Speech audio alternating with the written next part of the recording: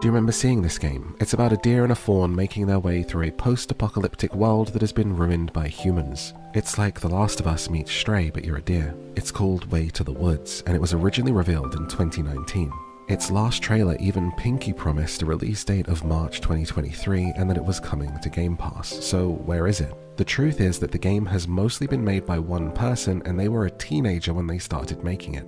There has been no official update or new trailers, but they have commented occasionally that they're very sorry for the delays, and that the real reason it's not out yet is because they just want to make sure it's a good game before they put it out there. I feel like that's a pretty good reason to delay a game, and I still can't wait to play it when it's finally out. Follow to hear about the release date when we get it, and for more games to play.